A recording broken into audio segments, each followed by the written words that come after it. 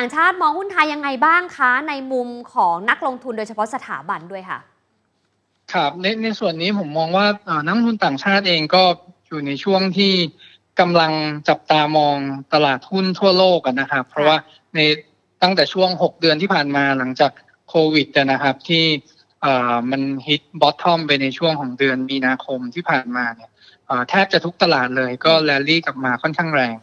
เพียงแต่ว่าในบาง ในบางตลาดอย่างเช่นตลาดในกลุ่มของเอเชียเนี่ยครับก็อาจจะยังแลกในส่วนของตลาดหุ้นทางสหรัฐอยู่ยกเว้นเพียงแค่ตลาดหุ้นจีนเท่านั้นนะครับที่ปรับตัวได้แรงพอๆกัน ถ้าดู performance year to date นะครับอันนี้มันก็เลยเป็นคำถามว่าถ้าเป็นอย่างนี้แล้วเนี่ยตลาดหุ้นสหรัฐหลายคนก็กังวลในเรื่องของ valuation หรือว่าระดับราคาที่อาจจะค่อนข้างแพงณปัจจุบันนะครับ ปรับตัวขึ้นมาสูงตอนนี้ก็ต้อง เงินมันก็จำเป็นจะต้องหาแหล่งที่ที่ไปที่ต่อไปนะที่เขาคิดว่าเป็นโอกาสสำหรับการลงทุนในช่วงถัดไป ซึ่งก็มองมาที่ในกลุ่มของหุ้นเอเชียครับหุ้นเอเชียน่าสนใจยังไง ก็มาดูกันที่ในส่วนของเอ่อถ้ามองกันไปในเรื่องของโควิด เป็นเรื่องหลักนะครับ หลาย ๆ ประเทศในเอเชียเนี่ยก็มีมาตรการการควบคุมในเรื่องของโควิด ได้ดีกว่าหลายประเทศในยุโรปและในสหรัฐนะครับ แล้วก็ดูทีท่าว่าจะมีการฟื้นตัวได้ดี เงินฟันฟลอมันก็เลยไหลเข้าไปในส่วนของตลาดหุ้นเอเชีย โดยเฉพาะในกลุ่มของนอตเอเชีย อย่างเช่น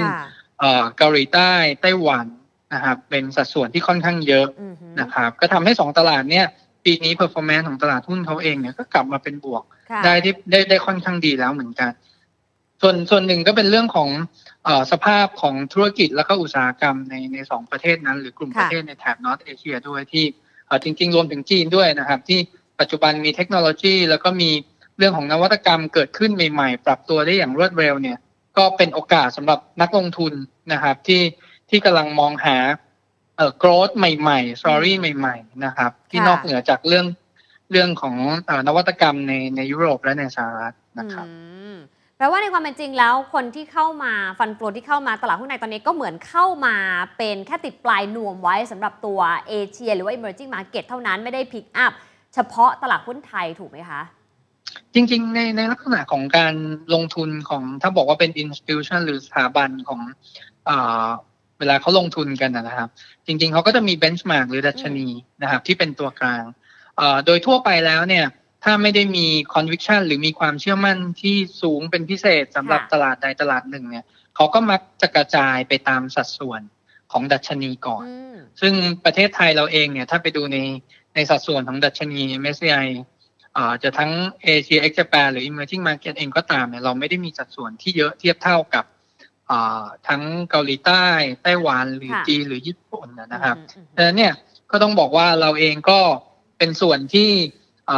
เขาก็อาจจะกระจายการลงทุนมาตามสัดส่วนเท่านั้นเองนะครับ แต่ว่าถ้ามองให้ให้ให้ลึกอีกนิดนึงนะครับ ก็ต้องบอกว่าถามว่า ตลาดหุ้นไทยมีอะไรน่าสนใจที่ตลาดหุ้นในกลุ่มนอตเอเชียยังไม่มีใช่ไหมครับเราอาจจะไม่ได้มีอุตสาหกรรมในเชิงเทคโนโลยีที่โดดเด่นเหมือนเกาหลีใต้หรือไต้หวันนะครับ แต่เรามีอุตสาหกรรมในในเรื่องของการท่องเที่ยวทัวริซึมเนี่ย ที่โดดเด่นที่สุดในภูมิภาคนะครับ ถ้าถ้าเราสามารถควบคุมในเรื่องของโควิด ได้เป็นอย่างดี แล้วก็หวังว่าวัคซีนจะเป็นที่แพร่หลายในช่วงก ลางปีหน้าหรือปลายปีหน้าอย่างเงี้ยนะครับ ช่วงช่วงครึ่งหลังของปีหน้าเนี่ยถ้าการท่องเที่ยวทุกอย่างมันเริ่มกลับมาเนี่ย ประเทศแรก ๆ ในส่วนภูมิภาคเอเชียที่จะได้รับผลประโยชน์เนี่ยผมยังมีมุมมองที่เชื่อว่าประเทศไทยก็น่าจะมีโอกาสที่ดีเช่นเดียวกันค่ะ ดังนั้นนะคะถ้าเราดูเรื่องของโอกาสในหุ้นไทยในมุมของฝรั่งยังมีอยู่นะคะเพราะว่าเรามีอาจจะไม่ได้เด่นเรื่องเทคโนโลยี แต่ว่าในเรื่องของภาคการท่องเที่ยวก็ค่อนข้างโดดเด่น แต่ต้องรอความเชื่อมั่นจากวัคซีนนะคะรวมถึงคลี่คลายเรื่องของโควิด -19 ก่อนนะคะแนะนำนักลงทุนยังไงดีคะคุณกิตจริงๆนักทุนตอนนี้นะครับก็ก็อยากให้มองเรื่องของอการกระจายการลงทุนเป็นเรื่องสำคัญนะครับ ผมอยากให้มองเรื่องของการออกไปลงทุนหาโอกาสต่างๆ ในต่างประเทศอย่างที่เมื่อกี้ผมเรียนก็คือว่าบางอุตสาหกรรมเนี่ยประเทศเราเด่นแต่บางอุตสาหกรรมเนี่ยก็ต้องยอมรับว่าต่างชาติเนี่ยเด่นกว่าบ้านเรา ฉะนั้นแล้วเนี่ยถ้ามีโอกาสเลือกลงทุนแล้วก็ไปเลือกลงทุนในกลุ่มที่ ต้องเรียกว่าเป็นเป็นกลุ่มเอ่อเป็นหุ้นที่ประเทศไทยเราไม่มีอย่างเช่นค่ะเทคโนโลยีนวัตกรรมต่างๆเนี่ยอือฮะก็อยากจะเชิญชวนให้เริ่มออกไปลงทุนในต่างประเทศกันบ้างอืมนะครับ ส่วนตลาดหุ้นไทยเนี่ยผมเชื่อว่ายังไงอะทุกคนต้องต้องมีถือเป็นสัดส่วนอยู่แล้วค่ะนะครับ ไม่มากก็น้อยนั้นเนี่ยเออก็ยังแนะนำให้ถือลงทุนต่อได้นะครับ เพราะว่าถ้าเรามองเรื่องของการลงทุนเป็นเรื่องระยะยาวเนี่ยยังไงตลาดหุ้นในช่วงระยะยาวเนี่ยเราก็ยังเชื่อว่าน่าจะมีการฟื้นตัวที่ดีครับ สัดส่วนไทยกับเทศกี่เปอร์เซ็นต์ดีคะแล้วก็ในต่างประเทศควรจะเป็นทวีปไหนบ้างคะมากน้อยแค่ไหน จริง ๆ วันนี้ที่บจกสิกรไทยเรามีมุมมองที่ดีด้วยนะครับค่ะก็จะเป็นเอ่อกลุ่มประเทศในเอ่อเอเชียนะครับในในเอเชียนี่แหละที่เรามองว่ามีโกรธที่ดี โดยเฉพาะกลุ่มประเทศจีนค่ะนะครับเรามองว่าประเทศจีนเนี่ยเอ่อได้พิสูจน์ให้ให้หลายท่านเห็นมาแล้วนะครับ ว่าเอ่อแม้กระทั่งโควิดเองเนี่ยก็ทั้งทั้งที่เขาเป็นจุดเริ่มต้นนะนะครับ ก็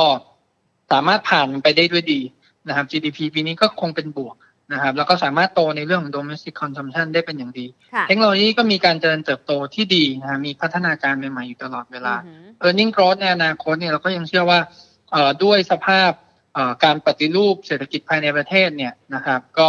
เอ่อที่ชูเรื่องของเทคโนโลยีเข้ามาเป็นส่วนสำคัญเนี่ยค่ะแล้วก็เศรษฐกิจที่เน้นการเติบโตแบบมีคุณภาพอะนะครับรวมถึงการขยายตัวของสังคมเมือง เอ่อ middle income middle class ของคนจีนที่จะมีแต่ขยายตัวมากขึ้นเนี่ยค่ะก็เชื่อว่าน่าจะเป็นอีกหนึ่งเอ่อตลาดที่น่าลงทุนค่ะนะครับแปลว่าให้น้ำหนักกับเรจีนมากที่สุดแะำนอยู่ถูกไหมคะ ครับในในในช่วงนี้นะครับ ได้ค่ะวันนี้ขอบคุณมากค่ะ คุณกิติคุณคะ